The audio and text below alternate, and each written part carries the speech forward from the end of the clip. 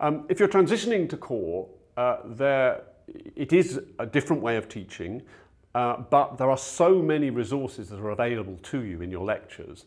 Uh, you can not just download the slides, uh, but you can also download the data and you can do things with the data. Uh, it's all downloadable from the website. But the other thing I would recommend to, to people teaching this is sometimes it can be daunting seeing the length of some of these modules. I think you have to be aware that some modules just don't get done in one week. I've been known to spend at least two weeks on a single module.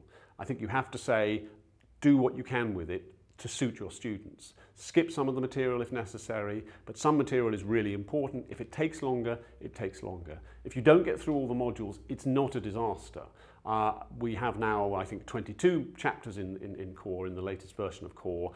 I only teach 15 of them.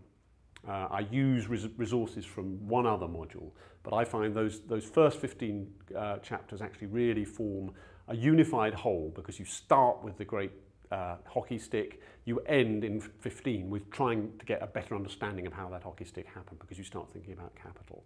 And you can do it in that, those 15 units over, taught over two terms is quite viable. To teach 22 will be pretty tough unless you're really moving fast.